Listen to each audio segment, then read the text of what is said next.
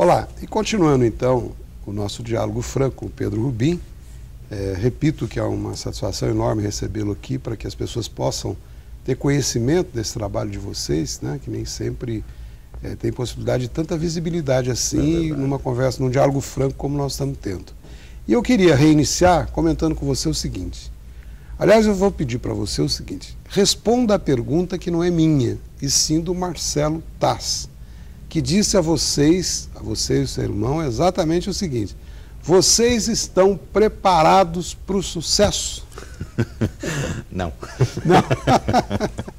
Você respondeu para o Marcelo Taz assim? Sim, não. Não, é. é, é Conta é claro. para a gente o que aconteceu lá para ele poder ter dito isso, ter perguntado. Não, a gente fez a, a explanação do projeto e como ele, ele, ele interagia com, a, com essas diversas áreas, né? o vídeo, é, a área audiovisual, os arquivos. E isso acabou impressionando. Eu percebi que impressionou. Né? Ele falou, todo mundo começou a falar lá.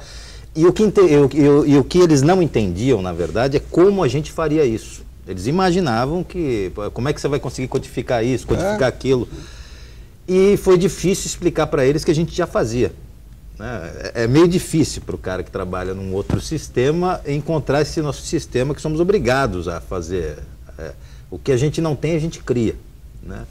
Na verdade, nesse particular, vocês estão à frente do nosso tempo, né? porque vocês, a partir do momento que vocês começaram a fazer esse trabalho e se envolveram com tudo, inclusive eu acho que é a única cidade da nossa região, não é isso? Que tem esse, eu esse trabalho que, nesse nível é, do trabalho é, de vocês? É, eu, eu, acho que sim, eu acho que uhum. sim. Eu, é, você tem um trabalho, o, a, de se fazer justiça ao vale, para, vale do Paraíba.com, que é do uhum. professor Sodero. Né? Ah, que ele, ele, ele deu o start assim, para utilizar uhum. a internet para divulgar a história.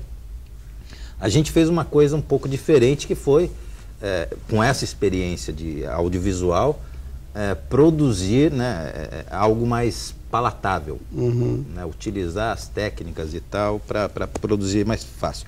E, e, o Marcelo, eu percebi que o Marcelo e a mesa não entendiam direito como é que a gente ia conseguir é, essa é, reunir essas disciplinas. Viabilizar é. isso.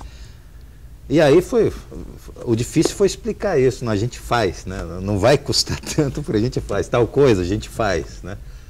É, é, é, então, o, o difícil é, é, foi, foi, Agora vai ser difícil replicar, dizer, difícil em termos. Né? A, a molecada hoje em dia, a geração Y, ela já é, y, ela já é multifuncional. Uhum. Né?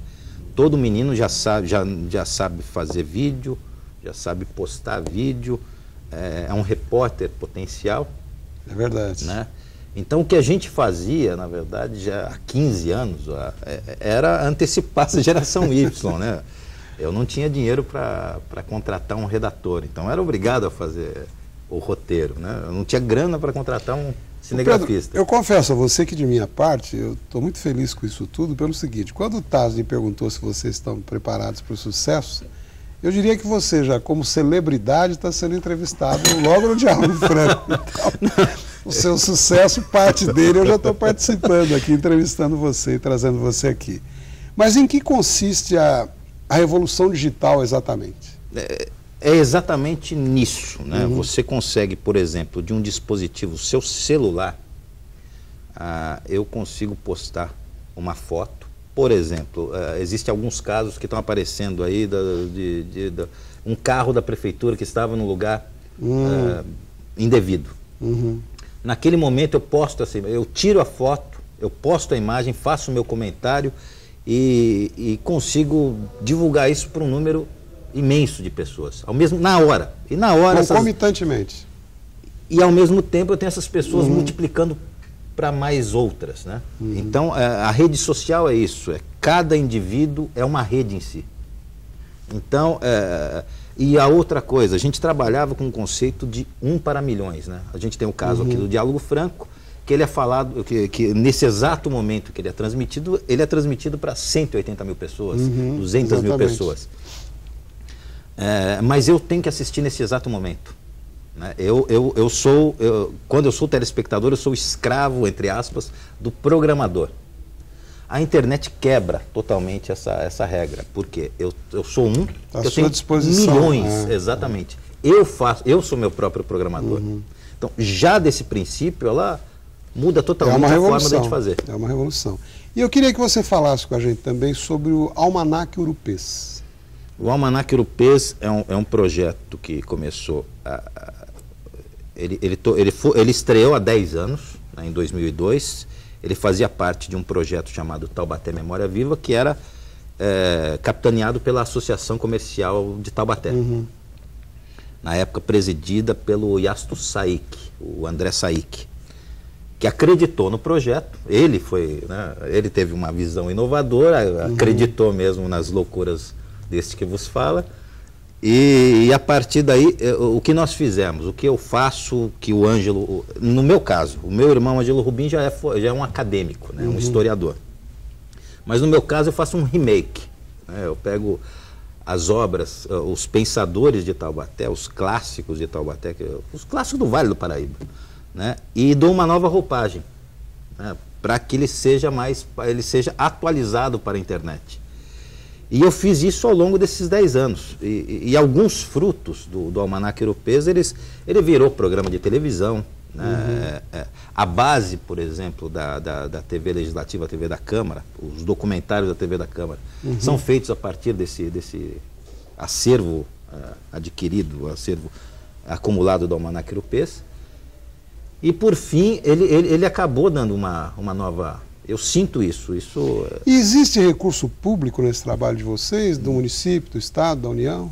Não. Não, não. É, ele é custeado pelos nossos vencimentos. Uhum. É, foi esse projeto para que uh, pudéssemos ter essa independência, né, que é cara. Antes de tudo, muito idealismo, né, Pedro? Porque sem idealismo não se faz isso jamais. É repetindo, na verdade, é, é o remake que eu falo. O, é. os idealistas vieram antes, né? Uhum. Eu, eu, eu, dou voz a, a, a, toda uma geração, né, que muita gente deu a vida para manter essa essa memória de Taubaté. Né? Aliás, se você me permite, está registrado aí na tela o endereço eletrônico, as pessoas que nos assistem nas 44 cidades podem interagir com você, até para apoiar, tá certo? Por Porque favor. é um trabalho de um significado de muita relevância e nem sempre a gente tem aquela história do santo de casa que não faz milagre, né? Eu quero cumprimentá-los publicamente por essa iniciativa, por esse trabalho, por esse empenho. Eu já conheço o seu trabalho há algum tempo. Sou admirador e fã dele. E com certeza frutos vão advir dessa ação de vocês, muito mais até do que vocês possam imaginar. Isso aí é para as novas gerações, né? E nós vamos usar isso lá na frente. É, talvez os nossos filhos, netos, etc. Eu quero pedir um minutinho só de licença, a gente vai para um breve intervalo e já volta. Continue conosco, o Pedro Rubim tem mais coisa para nos contar nessa área. Até já.